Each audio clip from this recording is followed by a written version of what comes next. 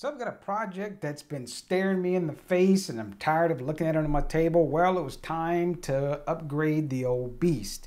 And what is this? Well, it's my backup per se dev Unraid server.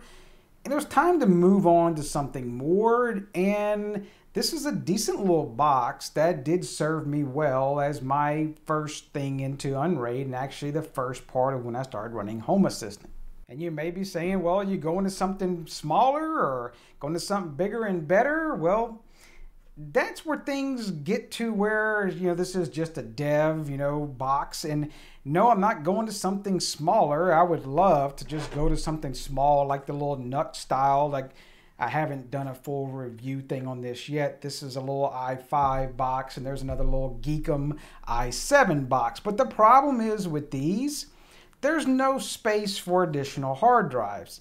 And yeah, I guess you could do some smaller, but for the average person, you're going to want some spinner hard drives, and there's just simply no room. And doing USB from a data standpoint just plain sucks. Stick to SATA.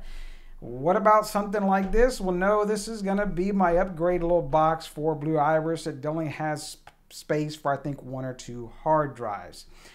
Well, this box, yeah, and you may laugh, I did have two big fans that sat on the side of here, and then I did put this plate just to continue. The cooling kind of sucked because I had a bunch of hard drives stacked in here, more than it was really designed to have. And there's spots for four hard drives. There's two here and two here, and then I had an SSD. And by the magic of television, I moved them to another box already. And haven't fired it up yet. Now, I did want to just transition. That's the cool thing with Unraid is that you can just take the hard drives out, whatever it may be. You've got four, five, six, whatever for all your media stuff. And then you've got your little USB stick and you pull them out pull them out of the one box, put that one to the side, and and I did want to mention, if I haven't already, because I just kind of do things off the cuff, I'll probably send this to somebody just off of Discord. So if you haven't already joined the Discord, come hang out with us. We got some cool places and channels and people out there, a whole melting pot of people. And I do some giveaways at time on there as well. If you've been around the channel, you've seen this guy. Nope. Well, this was given to me by a family member. I think they did some gaming on it or whatever. And I just had to throw some memory and power supply in it. And it's a great little i7 7700, I believe. Perfect little box for throwing in a bunch of hard drives and it's got a decent case for, you know, some fans in the front or whatever. Now I may have to find some additional caddies, but I've thrown my three hard drives in here and the SSD down the bottom. Yeah, I didn't make you sit there and watch, even though I did record that footage of me going through and putting the hard drives. But yeah, that's not gonna, that's, that's boring to watch that crap. You just take the little USB, and that's where the operating system lives for Unraid. And I've even changed from that Xeon box I just put down over to an AMD box didn't have to reload things. That's pretty awesome that you can just drag stuff over and it boots up. The only thing I've seen some people have had to boot into GUI mode where they've had to change some stuff with some network interfaces and if they've had different IP addresses or whatever then you could boot into GUI mode or you can do the command line just to fix some things you may have had say with some IP addresses or just with the way you had configured if you had multiple Ethernet adapters. But I didn't have that. I just had one Ethernet adapter identified on there and you should just be able to boot up and go. Now, one thing I did want to, because this would just be a short ass video, is you just move hard drives and plug it in, turn it on and go, right?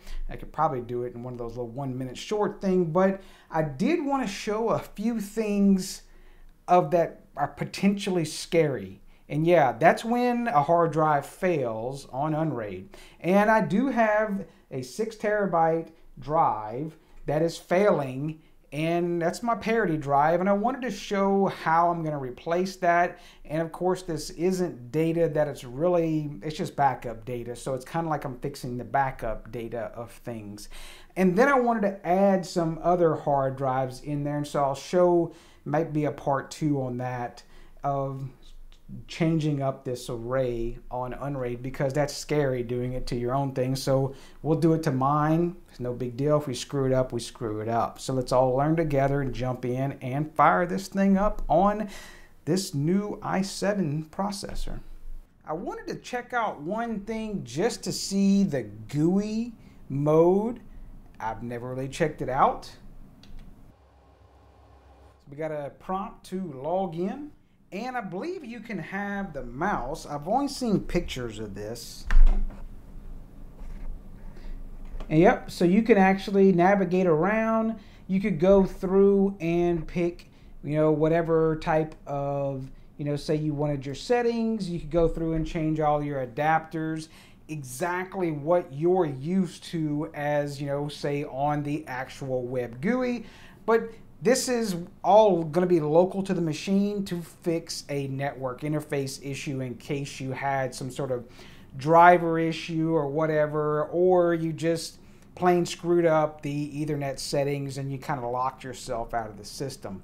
So pretty cool. I like being able to see that. I haven't really booted into it before, just never really had the opportunity to do so. So that's a pretty cool feature. Let's jump into actually the web interface since we can run this headless now. And you can see I do have all of my drives do appear, which is good. And then I've got some other common errors. I'll go dig through that later. But the awesome part about it, it just boots up. It's that freaking simple. What the way Unraid works, if you're curious how it does all this, I didn't put the hard drives in any particular order. So it goes off off of the identification and it knows based on hey this is the order they had it in before so we're just going to go ahead and put it that same way. So you can just change SATA ports all day long. Of course we even changed the whole damn computer. And it just works. And you can see that now I've totally forgot what yeah this is a core i7 7700K processor and get a little smaller on memory I have 16 gig of ram. I don't think i need to go 32 on this guy because i'm not doing a whole lot with it like i'm doing with my other box. And yeah you can see how here's that error. I do have that thumbs down right here for my smart error on that one parity drive. So the next thing we're going to do i'm going to pull this parity drive and then we're going to let it rebuild the parity. I do have another six terabyte. Now the way, if you're curious on how some of this does work, is your parity drive always needs to be a bigger drive than your data drives. And so luckily here, I've only got a two terabyte and a 1.5 right now.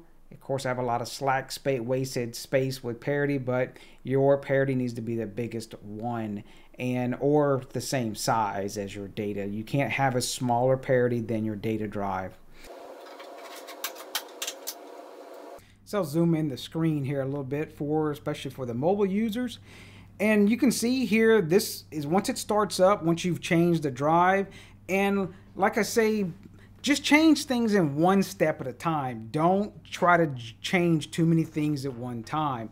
That's why I wanted to start up this system with the same exact configuration. That way I knew if something was wrong, it was down to something with the actual system and most likely not the hard drives. So now that we've found out that the system worked great. We changed the hard drive because I need to change out the parity drive. And you can see now the auto start is showing disabled and it pops up to this. It will not start up anything else because it's asking for what to do because you changed the hard drives. So you can see it's saying this drive is missing. That was my bad drive. And you can see if I hit the little drop down, it's like, hey, there's another drive there that you don't have anything going to. So let's go ahead and we'll assign it as the parity. It's going to give you this warning. I do have to scroll over because of the zoom, but you can see it's just saying, hey, that whatever you have on there, it's going to override everything. But hey, I want to check out this drive anyway. That's a good way to check every single sector is doing a new parity on it, right? Now, a new drive, you're just adding it to, which we'll get down to the further steps of adding some additional drives. We'll go over a couple steps there, but this is just changing out the parity. Now, the keen eyes, you can say, well, parity 2. Well, that's awesome. If you want to add another drive, you could add a second parity right here as well that gives you dub kind of double. If you lose two hard drives at one time you're still golden and you can fix both of those because you have two parity drives. But do remember your parity drives always have to be the same size as the largest or the largest hard drives in your array of drives. You'll have the option here that you do have to hit start. Now sometimes when you're it will give you an option that you have to like check another box. Just follow through and just keep looking at the bottom. It's usually pretty good at telling you what's wrong. Now, this particular one, since we changed out the parity, boom, you can see parity sync 0.0%. If you scroll down to the bottom, you can also see that it's showing it's going to take about 13 hours and you'll see the different notifications. If you have notifications enabled to like Discord or your phones or whatever, to the different ones, you'll get these same notifications. Now, I did want to check I'm not getting any smart errors from my parity drive, but if it does have an issue with the sector, I will definitely know it as going through the parity because the parity is going to write to the entire six terabytes, even though my largest drive, I believe right now is just a two terabyte drive. Yes. So we'll let this run through course, if you want to sit around and watch for the th 12, 13 hours, no, I'm not putting out a crazy long video like that. No, mine are pretty long to begin with. But we'll let this one run through and then we'll put this machine back to work on doing our backups. And then we'll do some other, potentially other videos with it. There's some other stuff you'd like to see, you know, shoot the comment down below. So, yep, I do appreciate you watching and this little different one Probably will go through seeing some more of this box as well because like I say, this is going to be my backup media server and I want to put it in a different location and do a VPN connection to it to have, you know, secure backups of offsite data that really don't cost me anything and I'm the one that stays in control of it, not someone else. So there's some other solutions you're doing out there, something cool with servers, Unraid, or whatever, definitely share it down below. You can come join our Discord as well. There's lots of cool other geeks, including myself, out there doing some cool and awesome things. A big melting pot of people, so you like you can always find help for something. So thanks to all the Patreon members and all the YouTube members. Definitely couldn't do it without you. It definitely helps bring new projects and products to the channel all the time. And you know the drill. Smash all them buttons down below and Y'all take care.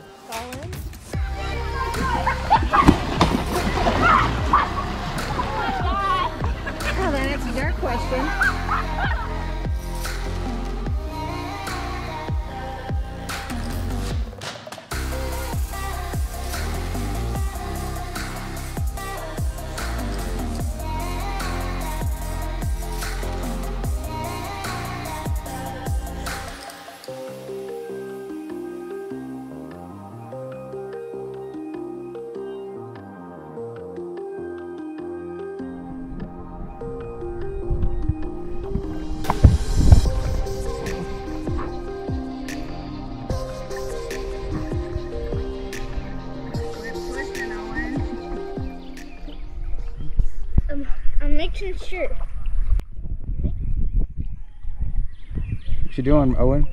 Dragging us? Yep. You figured it out? Yeah. I'm so high.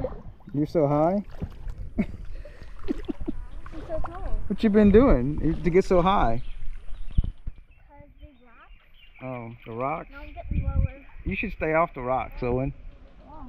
Huh? Why? Because it gets you high. It's better that way. Oh, it's better that way? Yeah. Oh.